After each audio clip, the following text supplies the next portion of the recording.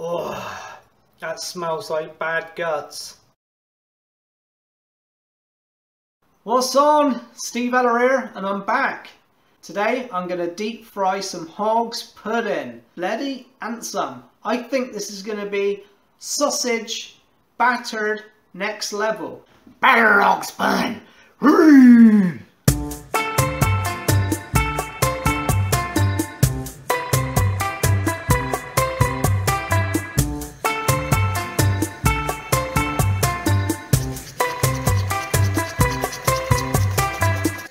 The batter's ready. All I need to do now is get out my hog's pudding. I know it's not very big, but it's a beautiful shape. I'm going to cut this hog's pudding just a little bit bigger than normal, dip it into the batter, whack it into the hot oil. I think it's going to be delicious. How can it not be delicious?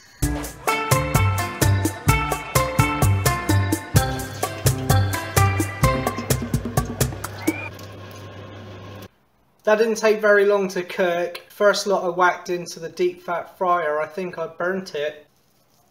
He's a bit black. That was instant. So I think the oil was too hot. But I whacked another lot in there. And there we go. Like the batter pasty, it just, it just smells like a cheap fish finger or a cheap battered fish that you'd get from the supermarket. I would know because I buy a lot of that.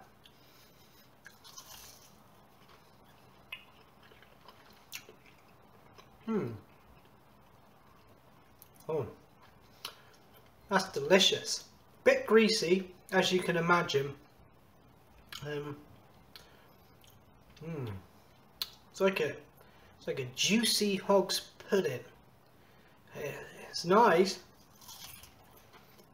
Here we go, there's another one. I can't stop eating these, these are lush. They're like little nibbles, you know?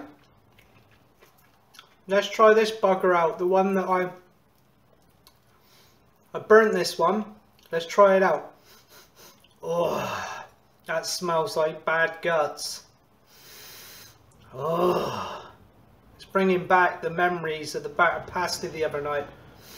That smell, oh, it was like in my nostrils and that's all I could smell.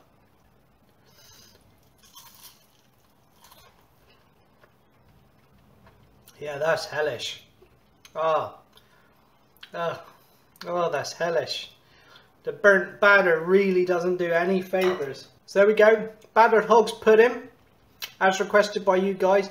It's greasy as hell, so I'm going to go sit on the toilet for half an hour. I'll try and do some more requests. And thanks to everyone who's been recommending stuff. Steve Heller here. Thanks for watching. Proper job. Cheers and gone.